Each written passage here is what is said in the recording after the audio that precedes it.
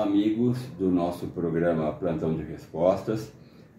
É uma alegria estar com vocês novamente para falarmos sobre a doutrina espírita e hoje o nosso tema é Brasil e o Evangelho. No livro Brasil, Coração do Mundo, Pátria do Evangelho, afirma-se que Jesus teria reservado para o Brasil a tarefa de exemplificar a lei da fraternidade universal. Estamos realizando isso? Na realidade, a partir do princípio de que nós somos um país que tem as suas fronteiras abertas, que recebe de uma maneira amorosa e, e carinhosa todos aqueles que nos, que nos procuram, que temos aqui é, abrigado pessoas de diferentes nacionalidades, de diferentes culturas, de diferentes credos, sem dúvida, nós somos um modelo ou somos uma referência em termos de fraternidade. Dificilmente em outros países um, um estrangeiro tem a, a, oportunidade de ter uma vida como, como temos aqui. Temos povos europeus, temos povos asiáticos, temos povos africanos, todos vivem em equilíbrio, em harmonia, e é exatamente essa relação de fraternidade que nos faz é, um país diferente de muitos outros que existem no mundo. 8. Pode-se dizer que os espíritos mais elevados reencarnarão no Brasil? Não podemos afirmar isso. O que podemos afirmar é que muitos espíritos elevados encarnaram sim no Brasil. Temos o exemplo de Chico Xavier, um, um apóstolo da paz, um apóstolo do amor que dedicou toda a sua vida ah, em benefício do próximo. Temos o exemplo de Dr. Bezerra de Menezes, que foi um, um, como, como é chamado o médico dos pobres, que dedicou também toda a sua vida em auxílio daqueles que, que mais necessitam. Temos uma irmã Dulce, ou seja, temos vários exemplos de vários espíritos que vieram e, e estiveram entre nós, nos mostrando exatamente como praticar a caridade, como praticar a fraternidade. E esse é o maior exemplo que nós podemos dar. É exatamente quando nós praticamos o bem em benefício do próximo e mostramos como é praticar na essência aquilo que Jesus nos ensinou como seu ensinamento maior. Amai ao vosso próximo. 9. Qual a responsabilidade e o que deve fazer cada brasileiro para que essa missão evangélica se concretize no Brasil? Bom, é importante que cada brasileiro desenvolva os seus valores morais. Nós aprendemos que todos nós estamos, vivemos, vivemos nesse mundo e estamos nessa encarnação como um processo de educação. E esse processo de educação, como nós aprendemos que a educação é a formação de bons hábitos, devemos nos educar praticando hábitos do bem, porque aí está a educação para o bem. O que precisamos fazer é cada vez mais aprimorar em nós os valores morais. Todas as religiões nos levam a Deus. Todas as religiões bem praticadas na sua essência mostram ao homem o que é importante fazer para que possamos crescer, progredir, evoluir do ponto moral e do ponto de vista espiritual. Nós, como brasileiros, e principalmente nós que adotamos e seguimos os ensinamentos de Jesus através da doutrina espírita, devemos desenvolver em cada um de nós os valores morais para que possamos estar colocando em prática aquilo que se espera de nós, povo brasileiro. 10.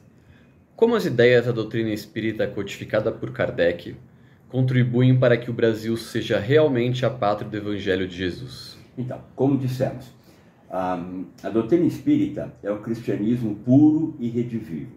A doutrina espírita traz aquilo que Jesus trouxe para nós como ensinamento, mostrando exatamente o que devemos fazer para alcançarmos a perfeição, que é aquilo que o nosso Pai de amor preparou para todos nós. E deu o seu ensinamento maior, que é amar ao próximo acima de tudo, amar a Deus e amar ao próximo. E com isso, nós é, precisamos realmente colocar em prática os ensinamentos da doutrina espírita.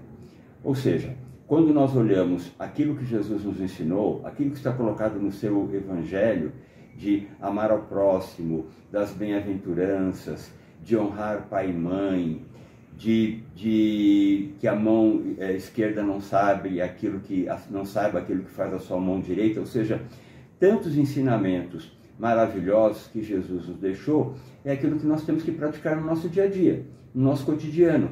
Porque esse, essa, esse é o nosso guia de conduta.